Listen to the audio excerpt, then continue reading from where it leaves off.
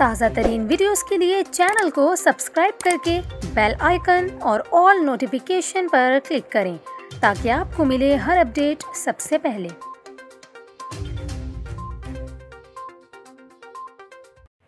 और यहाँ पर आपको ख़बर दें, मुल्क में तूफ़ानी बारिशों से अमवात की तादाद अस्सी हो गई। मकामी इंतज़ामिया के मुताबिक तूफ़ानी बारिशों के सबब बलूचिस्तान में सबसे ज़्यादा तबाही हुई, जिसके नतीजे में सोलह खवतिन और तेरह बच्चों समेत बयालीस अफराद सैलाबी रैलों और मकानात गिरने से हलाक हो गए।